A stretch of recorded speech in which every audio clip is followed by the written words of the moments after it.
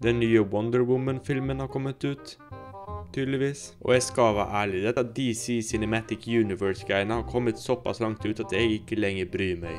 Etter hver eneste nye film har kommet ut, så har jeg sittet og venta i spenning på den neste filmen. Men DC har nå kun kommet ut med skuffelse etter skuffelse etter skuffelse. Den originale Wonder Woman-filmen var faktisk helt OK, men jeg så den aldri igjen, og jeg har allerede glemt halvparten av plottet. Og Wonder Woman 1984 har hatt så dårlig marketing at jeg visste ikke engang at filmen var ute. Kan ha at det også har noe med at det ikke kom ut på kinoen min her i Svolvær, eller noen plass generelt, men jeg fikk ikke med meg at dette her var en greie. Men ja, ja, nå har jeg sett Wonder Woman 1984 her hjemme, så hva syns jeg egentlig om han? Vel, det får du vite nå.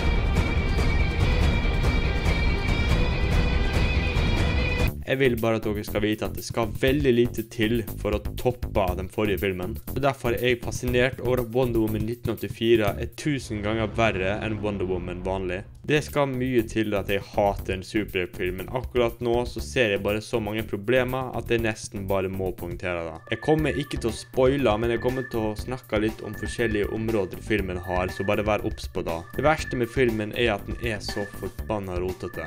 Tingen er at filmen har et konsept, men så en halvtime etter at vi har forhørt med den konsepten her, så blir den helt forandra. Og så plutselig så kan den en ny ting, og så plutselig skjer det ting. Det er egentlig det denne filmen her er. Ting bare skjer. Det er veldig tydelig at de som starta å skrive dette her, hadde et helt annet syn på filmen nærmere slutten. For du som ser, må bare sitte i sofaen og akseptere det faktum at å ja, OK, ja, det, skal det skje? Og det er ikke bare filmen som er rotete. Manuset er så utrolig, utrolig tamt.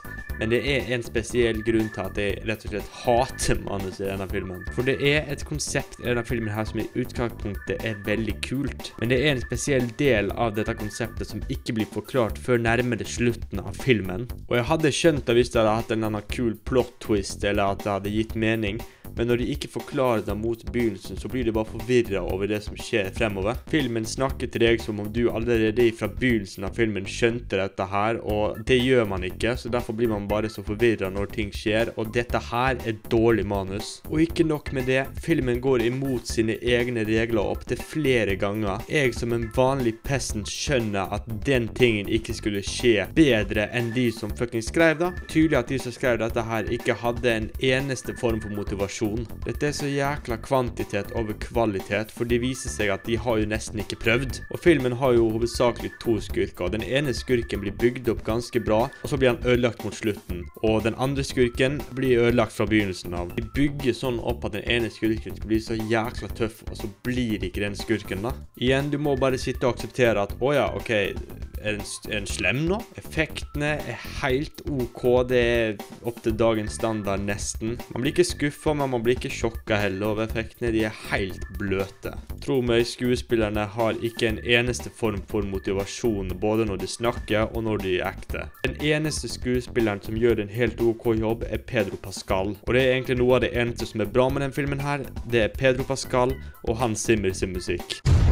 Jeg blir så forbanna av å snakke om filmen her, og det eneste som egentlig gjør at denne filmen her var verdt å se, var at det gikk an å peke og le på alle de tingene som er helt fullstendig ræva. Og selv om filmen var sånn helt OK å se på, så, så, så var det ikke en bra film i det hele tatt.